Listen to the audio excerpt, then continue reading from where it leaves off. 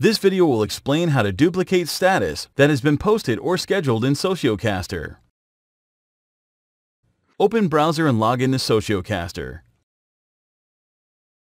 Open Post page.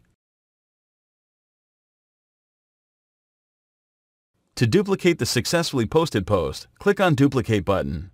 Then select Number of Duplication, for example, 3. Select Repetition in, for example, Weekly.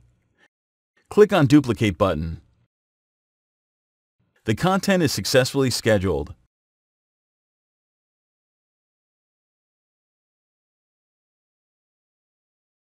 We have made three duplications weekly post.